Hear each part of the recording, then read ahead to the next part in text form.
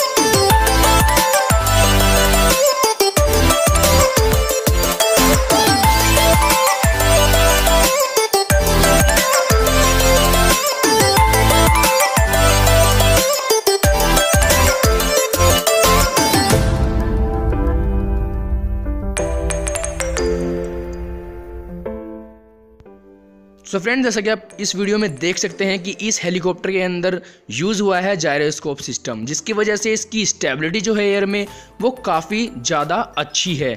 और फ्रेंड्स अभी तक आप देख रहे हैं, ये फ्लाई कर रहा है, इसकी बैटरी बैकअप जो है, वो बहुत ही ज़्यादा अच्छा है। जैसे कि आप खुद भी देख सकते हैं, ये काफ़ी देर से फ्लाई कर रहा है, और इसका बैटरी बैकअप बहुत ही ज़्यादा अच्छा है। तो फ्रेंड्स बस एक ही कमी है इसके अंदर, ये सिर्फ़ इंडोर फ़्लाइट के लिए है। आउटडोर आप इसे फ्लाई नहीं करा सकते। सो so फ्रेंड्स ये वीडियो आपको कैसी लगी? प्लीज़ कमेंट करके ज़रूर बताएँ। वीडियो को लाइक और शेयर करना ना भूलें। मिलता हूँ आपको ऐसी ही एक और अगली वीडियो में। तब तक के लिए थैंक्स फॉर वॉचिंग और हाँ चैनल को सब्सक्राइब करना ना भूलें।